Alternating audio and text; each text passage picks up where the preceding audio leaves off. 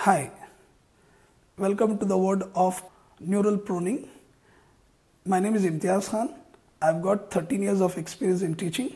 I'll tell you about the importance of physical chemistry. In chemistry, there are four branches physical, inorganic, organic, and biochemistry.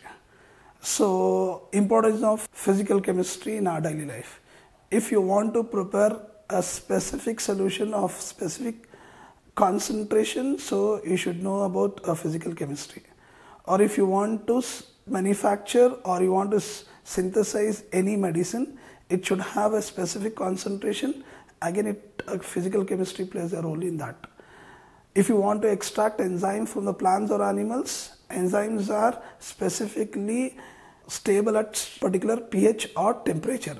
Again, pH comes, physical chemistry plays an important role. Okay, let us start with the first chapter of 12th solids. Solids.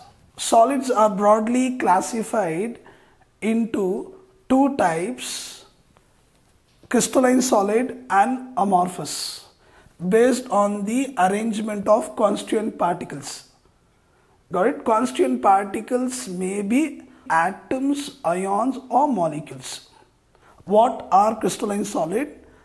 The constituent particles are regularly arranged in a three dimensional space to give a definite geometrical shape. This is a geometrical shape what we are getting. When you draw a line, we get a definite geometrical shape. This is a crystalline solid. What are amorphous? The constituent particles are irregularly arranged and they do not give any definite geometrical shape. Such are called amorphous. Crystalline solids sometimes they are referred as true solids whereas amorphous as referred as pseudo solids.